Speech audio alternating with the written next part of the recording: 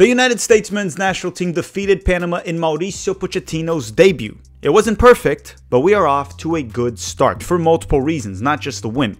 Now, the United States must travel to Mexico and face, well, Mexico in what is the biggest rivalry in North America, and likely the biggest mid-off in world soccer. And you know what? Even though the US and Mexico is a ginormous mid-off, it's always exciting, it's always fun, and I'm very much looking forward to this game. For that reason, let's talk about it. Hi, if you're new here, I'm Filippo, and welcome to Tactical Manager TV, and welcome to the United States versus Mexico match preview. Now, before I tell you how it's gonna go, just a quick thing, we dealt with a hurricane here in Florida. That's why I don't have my regular studio. Hopefully, we're back there this week, very soon. There's power outages all over Tampa. I want to go back to Tampa, but to deliver these videos to you, unfortunately, I cannot be in Tampa. With that said, this is how this episode's gonna go. First, we're gonna go through when and where to watch the game, along with the record between both teams, and much more. Then we're gonna go through the current news and updates on the US men's national team, along with the projected starting 11. Last but not least, we're gonna bring in Jack from Deadball TV to represent Mexico for their portion of this video. So as always, sit back, relax, hit the like button, because I told you to do so, and you always listen to Tactical Manager. Who doesn't listen to Tactical Manager? And let me know in the comment section down below. You know, I fully expect the US men's national team to defeat Mexico because we simply have a much better team these days and we also have a better coach, which would actually be a massive win, especially because we're going to be playing against Mexico away. But to my question, what is your expectation and definition of success for this game? And obviously, let me know if you're a US men's national team fan or an El Tri fan in the comment section. Okay, let's play the intro and start the episode.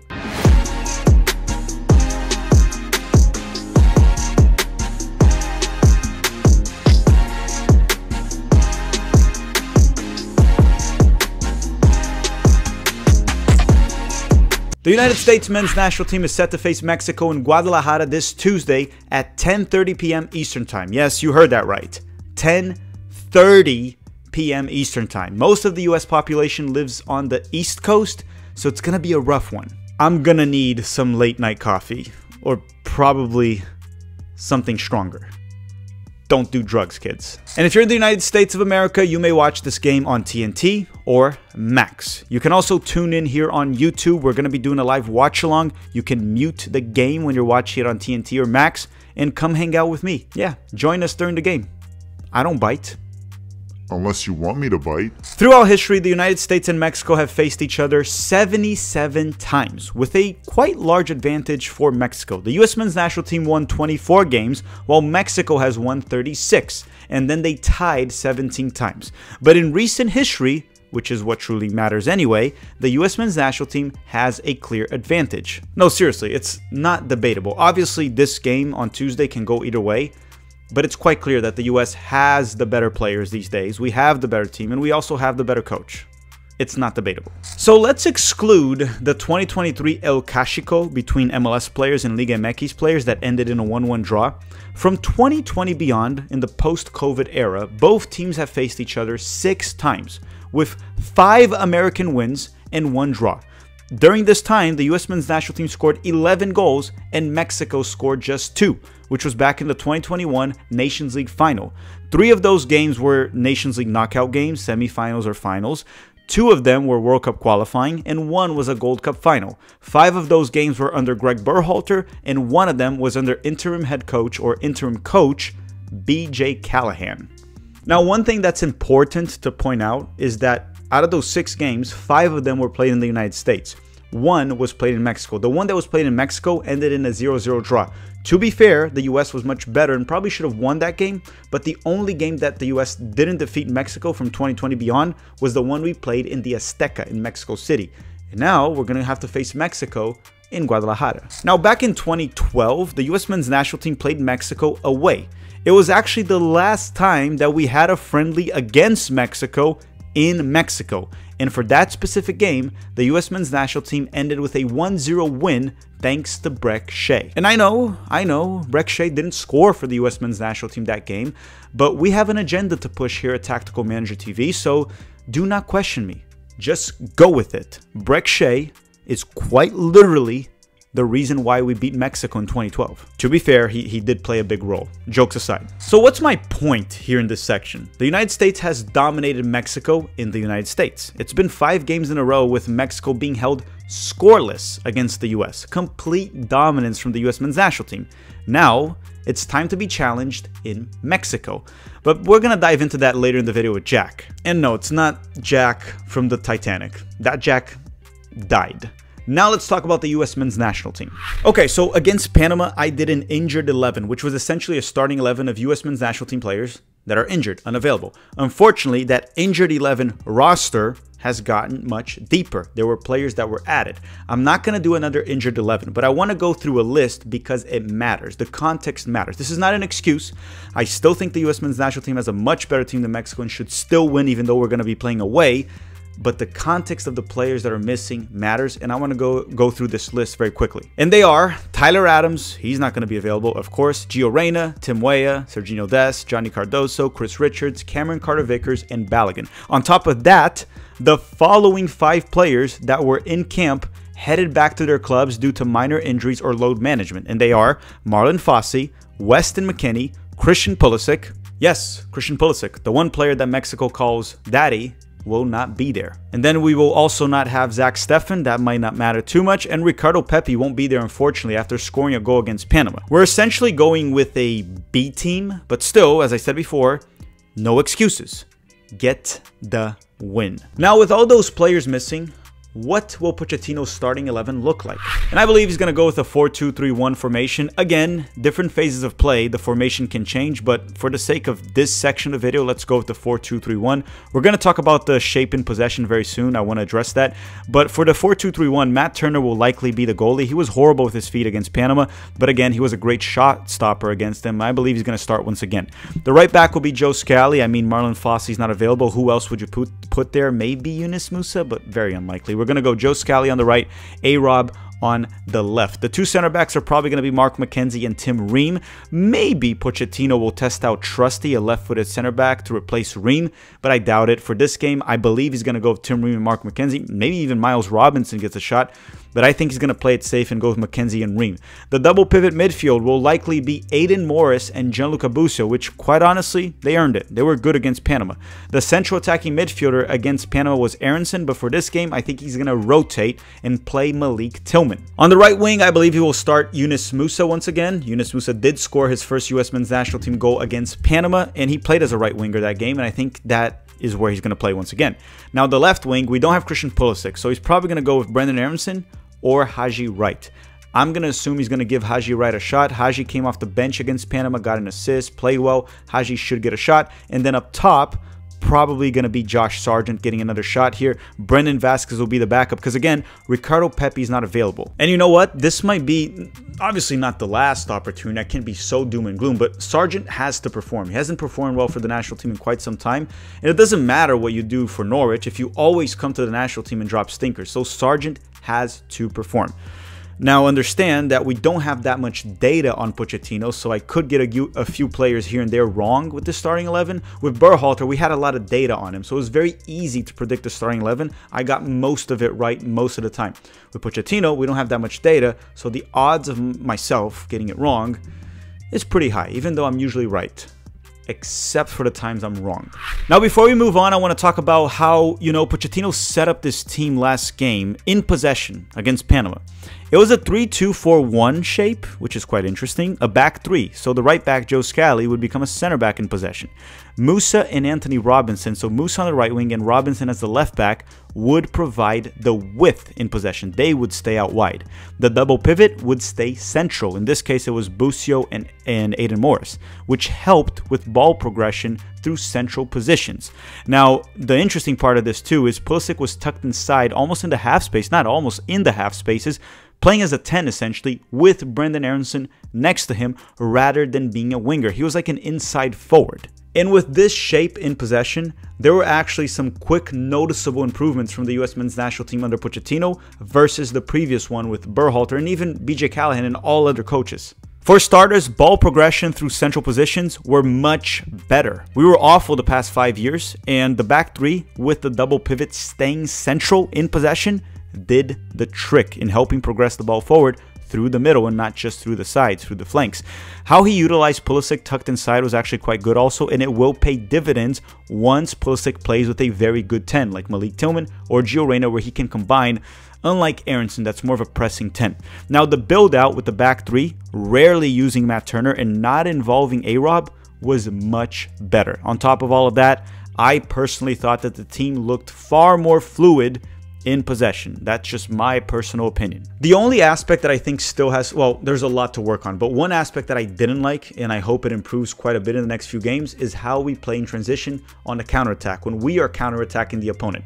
There's a lot of room for improvement there, and it hasn't improved yet. It will improve under Pochettino. Most of his club teams were really good in transition, so I expect the United States to improve in transition fairly quickly with, under Pochettino. Now let's move on from the US and talk about Mexico. We're going to have Jack, not from the Titanic, right? That one died. I already said that before. Jack from Deadball TV. He's going to be our guest representing Mexico. And keep in mind that we recorded this with Jack before Christian Pulisic and Weston McKennie were cut from the U.S. men's national team and headed back home. It doesn't really change our overall opinion about how this game is going to go, but obviously not having Pulisic doesn't help the U.S. at all. After all, he is the best player in CONCACAF. Don't forget to drop a like because I won't be asking when Jack is here. And with that said, let's bring in our guest to talk about Mexico. Okay, Jack, welcome back to the channel, representing Mexico once again.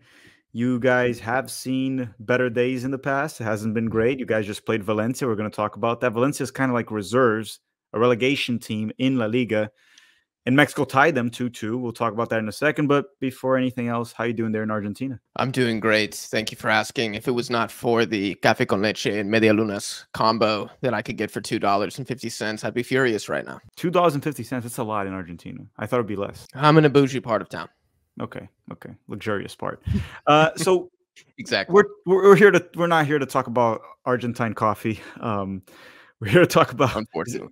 Yeah, we're gonna talk about Mexico and the United States. We play this Tuesday at 10:30 p.m. Eastern time, so super late for everyone on the East Coast, kind of late for everyone Central time, and not so late for anyone that is in California or the West Coast. Mexico's been struggling with the United States quite a bit in the post-COVID era. We played like six times, not counting that cash grab one between MLS and Liga MX. And Mexico lost five to the US and tied one that was at home. All the ones in the US, the United States has won. I believe Mexico hasn't scored against the US since that Nations League final, right? The the one in 2021. And you guys had Tata Martino, then you guys got like Diego Cocca. then um, it was like uh, Jimmy Lozano, right? The last one. And then now the coach mm-hmm. is like Yehi, he's back. And I wanted first to get your thoughts on this. Like, do you believe, like, based on what you saw of Mexico against Valencia and what you saw the US against Panama, do you think this is one, one of those games where the US will actually get a win against Mexico away, which at least under Berhalter, it was really unexpected and under an older Mexico with much more talent.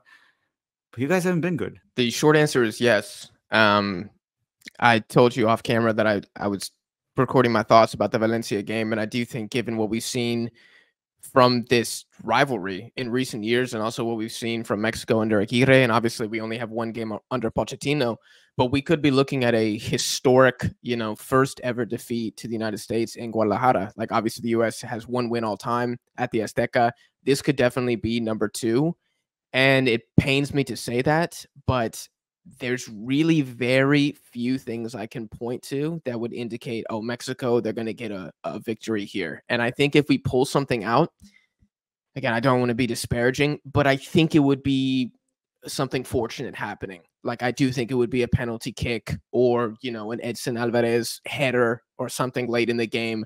I do not think it would be going pound for pound against the US, you know, in the midfield and just creating chances because we haven't seen, quite frankly, I, am curious if you would disagree with this. The last three meetings that I can remember against the US, it's not even that Mexico is lost, it's that Mexico's been dominated. And when we have the ball, we are creating maximum two chances per game, half chances per game. We don't really create any clear cut opportunities. I mean, Matt Turner's gets to take the games off half the time. So I think it's you know early indicators are pointing towards a a historic defeat for Mexico in this game. So let me ask you one thing. Uh, the United States against Panama, it wasn't perfect, but we already saw some signs of improvement in regards to Berhalter to Pochettino. Very small ones, but ball progression in central areas of the field. That's something Pochettino changed right away with a three, uh, back three in possession, double pivot, trying to connect to tens, Pulisic playing tucked inside. A few things that we saw improve. He also noticed like playing out of the back would be tricky with Turner, so he's trying to overload more like towards the center backs, the width would come from Yunus Musah and A Rob. A Rob was very high up the field rather than helping on the build out, which is not his strength. He's a really good player in certain like in very in a very specific role and Pochettino saw that right away. So we already saw some improvements. Um, there were also some negatives. I'm not going to get into that. Uh, Mexico under Aguirre, he's back. Uh, do you think there's been any improvements? Is there anything he can do? Because I'm I'm starting to think Mexico. So the U.S. there's still debate are the players the problem? Is it the coach? Are the players overrated? And honestly, they might be depending on like who you ask. Or they are they underrated? Can they achieve more? Mexico has had other coaches, and it's starting to feel like doesn't matter who they get, it's going to be a struggle with these players. Have there been any improvements with Aguirre already? That is tough to say because the strong suit of Mexico, which is this, this is hilarious, by the way, after allowing a 2 2 remontada from Valencia's B team. But what we have been good at, especially under Lozano, was defensively. Like, let's not forget, we allowed one goal at the Copa America and it was a penalty. So it's difficult for me to say that Aguirre has made us better.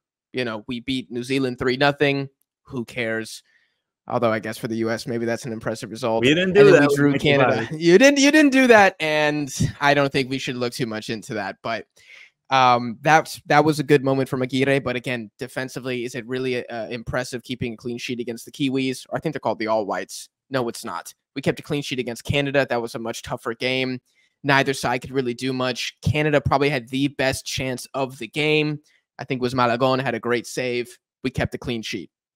Now we failed to keep a clean sheet against a team with that is comprised of, with all due respect, nobodies in La Liga and academy kids who me watching La Liga every single weekend, I didn't know who eight of those guys were that we were playing against. So you can't say defensively we've gotten better. Attacking wise, I mean, we've had five goals in three games against one solid opposition in Canada, and we were unable to score. And again, similar to what I said earlier in this video, we had one phenomenal chance. Chino Huerta sent Santi Gimenez through one on one, and he couldn't score. So it was kind of the same game that I've seen with the US, where we get one good chance per game. And if it's not converted, the US wins. That's kind of how it went against Canada. It was a nil nil draw. So what has gotten better? I don't really think anything um, because the defense doesn't really have anywhere to go. We can't really go up. And the offense, score a goal against the US. Get a goal against the US, and I'll say, yeah, we've gotten better offensively. But outside of that, man, I I really can't. But, but I, I, you're probably saying don't get like a fluke goal. You want to see them create volume because because Mexico might not even score against the U.S. But if you see plenty of goal scoring opportunities, you can go, hey, they got unlucky with this and that. What you're saying is it seems like Mexico just doesn't create enough. We have. Oh God, I'm gonna keep the try to keep this short. We have profiles of players available to us in the pool that could be a creative outlet in a central position. Now, we don't play those players, and oftentimes they're not even called up. So what ends up happening is we rely on what I expect to see in the in the US game is Orbelin Pineda to play as the 10. Orbelin Pineda cannot create chances against any national team better than Guatemala. The US is better than Guatemala. So for that reason, I do not think we're going to see I'm glad you gave us credit from the midfield. better than Guatemala. I'm glad you gave. You guys that. are better than Guatemala, and I, I I think I put enough respect on Guatemala on Deadball TV, but they are not as good as the U.S. men's national team. Spoiler alert. Sorry for the Guatemaltecos watching this. Hot take. Hot take. Um, hot take. Guatemala's worse than the U.S. So, I think they just won their Nations League game decisively, but that's not what this video is about. Um, I would be okay if we created four really good chances and Matt Turner has a monster game and just, you know, keeps a clean sheet for the US and it ends in a draw, personally, I wouldn't care. I'd be like, big dub. We actually did something. Yeah, it's uh, it's going to be fascinating because under Berhalter, the U.S. also struggled a lot to create anything that wasn't from like crosses, right? Cross, cross, cross, trying to find something. I wouldn't say we were perfect against Panama in terms of creating. I think I thought we should have created more, but I do also think playing Brenden Aaronson at the 10 doesn't help for creativity, mm-hmm. right? You probably would do a lot better with Giovanni Reyna or maybe Malik Tillman or God, even Pulisic playing, even though Pulisic was tucked inside quite a bit, he wasn't really the 10. It was more Brendan. So let me ask you mm-hmm. this. I'm going to put this on screen right now. This is the starting 11 that Mexico put out to face um, Valencia. I don't know if you know or anyone knows what Aguirre will do against the U.S. I guess there's going to be a lot of rotation. I heard Guardado was going to start against the U.S. Uh, that was one thing I saw like floating around on Twitter. Memo Ochoa is in the roster, as far as I know. I know Raul, sorry, not Raul Jimenez. Um, Santi Gimenez is not available; he's injured. Mm-hmm. This lineup here, um, I'm sorry, it's abysmal. But I'm assuming the U, the one to face the U.S. will be a bit different. There's a few names. Like, was Raul Jimenez not available? Is he not going to start? He's been fairly decent in the Premier League now. He's probably the best center forward Mexico has right now. What is the lineup we're su- supposed to expect for this game? Yeah, so this lineup, you're correct, is abysmal. It's an embarrassment. I do expect a much stronger team against the U.S. Like, for example, you're looking at Oziel Herrera, Beltrán, and Memo Martinez as the front three for Mexico here. It will be Raul Jimenez. I do expect Chino Huerta to start, and I do think Piojo will be the other winger. So I think we're going to bring, you know, our better players, but that's just what I would do. You know, we've seen howlers at a historic clip from Mexican managers. We might play the same damn team. Like, I, I do not know. Um, Johan Vasquez will slot in to the center back position alongside Cesar Montes. Will Jorge Sanchez start at right back? That's kind of the main that and goalkeeper. I'm very curious what we do there. Do we start Memo Ochoa against the US? I'm going to bet we do. Like 90% certainty, I think we start Memo Ochoa. I think one of the biggest omissions from Mexico squad, I don't know if we're going to talk about that in more detail, is Alex Padilla, who's playing for Bilbao and playing very well for Bilbao in La Liga, and he's not available for this window to be uh, to be. He was called up last time but didn't play. Um, wait, and then if why, Sanchez, why was he was he called in and he is injured or just wasn't called in this time? I'm not sure. Luis Chavez was also not called up, but I couldn't see any injury record for either player. So it could just be Aguirre being like, "Hey, this is still my fourth, you know, third and fourth game in charge. Let's give everybody an opportunity."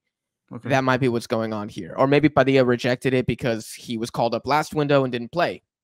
I don't know the the reasoning for that, but I would like to see Huescas at the right back against the United States. I think that's going to give us, for maybe the first time in five years, an attacking outlet at the right back position outside of just like Jorge Sanchez, who is a he's a track athlete. He's a hundred meter dash sprinter. He's not a footballer. Is he a Mexican version of Conor Gallagher? No, the Mexican. Who's the Mexican Conor Gallagher? The, I don't know. Ours is have. ours is Brenden Aaronson. Ours is Brenden Aaronson. Yeah, yeah. At least Brenden's a little more offensively inclined than Gallagher, who's just like a sprint. Yeah, I mean, it probably is Jorge Sanchez. Yeah, he's just he's just athletic, very low tech level. That's how I would describe him. Yeah, so with this, we're gonna have to wait and see what um, Aguirre will do. We don't know. I'm assuming Mexico is gonna take this game very seriously. They have to eventually bounce back against the United States. It's been a very long stretch without beating the U.S., and this one's at home, right? The other ones, there was a bit of mm-hmm. an excuse here and there. We're playing away. They were playing the U.S. Now we're going to Guadalajara, and like you said, the last time they played a friendly, um, the U.S. and Mexico was in 2012, and the U.S. beat a friendly away. Okay, a friendly away. Mexico beat the U.S. at home even in 2019, that was a friendly 3 0. But the last time they played a friendly away was in 2012, and the U.S. won 1 0, and there was the Azteca game. Um, mm-hmm. Now they go back to Mexico for this game, and that, that could be also Pochettino getting a bit of that Berhalter stinker away, right? That the, the U.S. can never win away in CONCACAF. Mexico away, probably yes. one of the toughest games in CONCACAF. So that said, if Aguirre does everything right, he gets like the lineup that you more or less want and everything and let's say Pochettino also puts more or less the lineup we're expecting for the US for this game, which would be similar to the Panama, one of the few changes here and there. What would be your score prediction as realistic as you can be for this game? As realistic as I can be. I do not see a world in where Mexico scores more than one goal. So if Mexico's going to win, it's a 1 0. We have kept a clean sheet against the U.S. in the World Cup qualifier at the Azteca, but I think Pulisic and I want to say Pefok missed one on ones in that game. It was actually no, no, no. pretty Pefok good. missed the missed a wide open sitter. Okay, and, and then worse. Pulisic had the one that Memo actually saved. Yes, and then Pefok he missed an open sitter. Like I think it was a cross. Okay. I think Memo came off, and Gio just like passed it to him, and and he tried a one hit and he hit it over the crossbar. The point is, like, God blessed us on that evening, and we got out of there with a nil nil draw. But again, we were we were maybe not dominated like we have been on U.S. soil, but we were beaten. We just survived out of out of fortune. So if we're gonna win, it's gonna be a one nothing. Can we hold the U.S. to a clean sheet? The only reason I think it's possible is because of y'all's emissions. Mhm. Y'all's emissions. Josh Sargent missed that sitter against uh, Panama too. I'm not sure what his confidence level's like. That being said, though, Ricardo Pepi scores for fun. He could get a goal against Mexico here, um, which would be a great story. I do think the U.S. is going to win. We we just, you know, there are times in football where there's bogey teams, and you just whatever happens, you cannot beat them. I think Mexico is Panama's bogey team. I think Panama, honestly, are the same level as Mexico right now, but we beat them every time. I think it just sometimes is how the cookie crumbles. So I'm gonna say either a one nothing US or a two one US victory in this game. Two one. I think that's fair. I think it would be something around that. I can see also being 2-0 US, another dos a cero. I think that can happen. I could see Dos a Cero as well. But yes, ending on a positive note for any Mexico national team fan, just here are a few names that the U.S. Are, is currently missing. They're missing Balogun, the best center forward the U.S. has, Tim Weah, Johnny, Tyler Adams, Gio Reyna, Dest. So like these are like six players that are arguably starters, or at least like like Johnny, maybe the backup of Tyler, or vice versa. They're fighting for a spot. Then outside of that, they're also missing a few guys that are like backups for the team. So the US is missing roughly like 13 players in terms of like overall roster. There's a shot there, but the only problem is and, again, Pochettino is a bit unpredictable, right? We looked better against Panama, but you never know. Like we, we could test something out and go extremely wrong against Mexico. I'm gonna go 2-0 the United States. I don't like betting against the US. I try to be as realistic as possible. But again, it would be very odd for me to bet against the US with an opponent that both of us agree on that right now there's less quality. So it doesn't make sense for me to pick Yes. an upset against the US. Even though in the Copa America, I kind of said before the game that the Panama game was a trap game, and I was like, I'm, I'm worried about this. And then we shot the bed. Obviously, um, we had. We Well, I think I think y'all just underrate Panama. I think that's a separate issue. I think people might be. still don't realize Panama are actually like they're a good national team, man. yeah, They're good. it might be. It might be. It's just um that American arrogance. We have it. But uh, but anyhow, It's, it's Mexico world and renowned. yeah, we're definitely we definitely got humbled. Well, I mean, Mexico got humbled in the World Cup, and then the summer, the U.S. didn't get humbled in the World Cup. So then we got humbled this summer, but it was pretty bad. We became the first host nation to get grouped in the Copa America. Um, but, but we're moving on from that. It, it honestly, long term, maybe that's what the U.S. needed um, was to get punched in the face, get Berhalter out, and then like, okay, let's get serious now and see. And now we can actually see where this what what level this team can perform. Now we're actually going to see. For and then if, if the U.S. flops in the World Cup in 2026, well, then, then the players just weren't good enough. Like we we got what we could in terms of coaches that the U.S. men's national team can get. I think Pochettino's probably the highest level we can get, and we're not getting Klopp, we're not getting Guardiola, we're not getting those guys. So we got the best we could.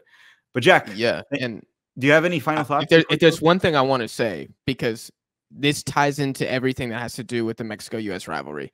You talked about the US getting punched in the mouth at the Copa America and having a positive reaction, which I 100% agree with. And if there's one thing that I have to give the US so much credit for that I cannot say for Mexico is every time there's a there's a disaster for the US not qualifying for a World Cup or getting grouped at the Copa America, there's a reaction. There's a strong reaction. And sometimes it's not the greatest, but at least there's a a strong pivot in direction and strategy, right? Like after not qualifying in 2018, it's like okay, we got to change the re- the recruitment strategy. We have to change the player pool. We have to change the manager.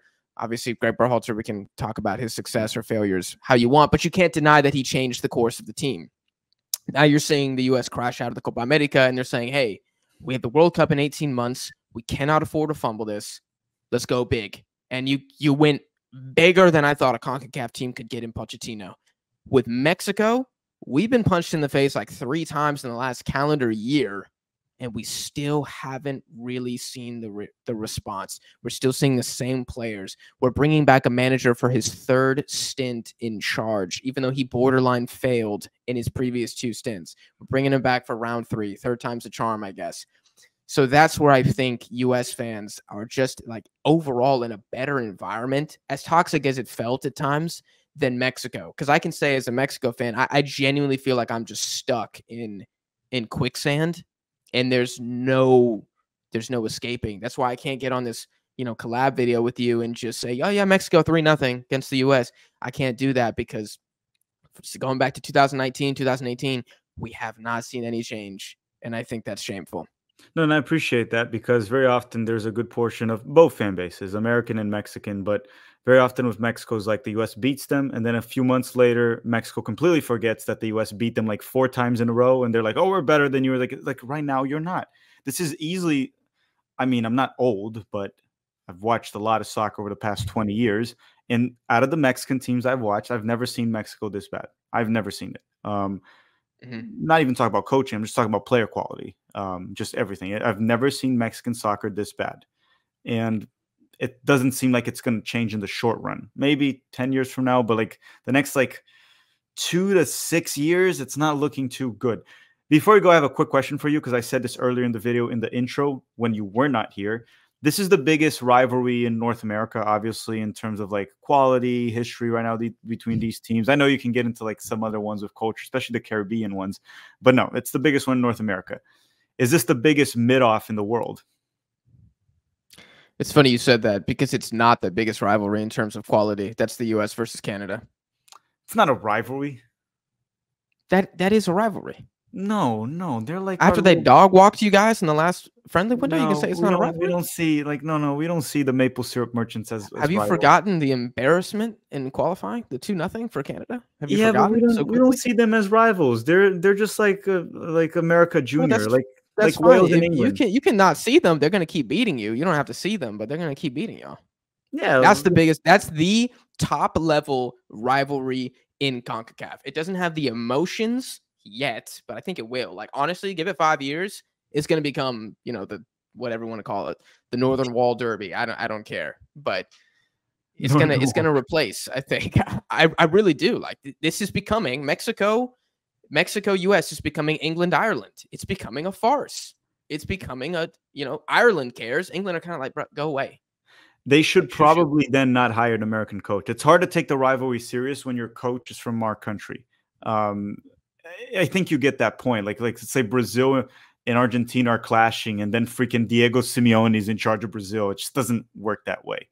Um, I think if they can yeah. do that, because if there was a legit rivalry there, there would be a lot of pushback with Jesse Marsch for Canada. It's like, no, we don't want an American. They're our rivals. We don't want him. He might be good enough. The same way, for example, how would well, I'm going to give a crap name, but there would be massive pushback in Mexico for any American coach, even Jesse Marsch. There would be pushback, even though I think Jesse Marsch might be good for Mexico, but there would be massive pushback. Um, same way with the U.S. That's cultural. Yes. Well, even though like the U.S. would probably embrace a Mexican coach much more because I mean, Mexican Americans are part of our country at this point, right? It's not, we're much more Mexican than Mexicans are Americans in Mexico, right? If, if that makes any sense. 100%. But there would be pushback between the fan base. We would not want a Mexican coach. Like there would be pushback against it because of the rivalry. That's it. Uh, so maybe the next step for it to become a rivalry is Canada walk on their own without an American coach, without Jesse Marsch. Then it can maybe spark something. But that's all for today, everyone. Thank you very much for watching. Don't forget to subscribe to Deadball TV. I'm going to put his handle in the description. And then if you want to follow him on Twitter, that's the handle below his head. That's not the YouTube channel, by the way. The YouTube channel is in the description. No. Twitter is under his head. Thank you for watching, everyone. Have a great day. Bye bye. All right, everyone. Thank you very much for watching. Hopefully, in the next video, I will be back in my regular studio. As of now, I can't until we get the power back from the hurricane damages that we had in Tampa. And hopefully, everyone's safe if you're from Florida. Now, thank you very much for watching. Don't forget to drop a like before you go. Don't forget to also follow us on X. The handle is Manager Tactical. And follow us on Instagram. It's just Tactical Manager TV. It helps us quite a bit. Thank you very much for all of your support. I'll see you guys on Tuesday for the live watch along and have a great day.